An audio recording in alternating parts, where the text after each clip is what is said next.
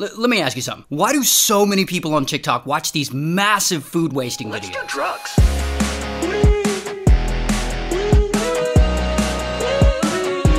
And look, I'm not hating on these guys. I'm glad they found something that works for them. And clearly, a lot of people enjoy watching these guys. Damn. I just don't get it. But but I love to imagine the person who sits down and watches all these. What's he gonna do next? What's he, I hope it's a lot of sprinkles. I hope it's a lot of sprinkles. That is a lot of fucking sprinkles.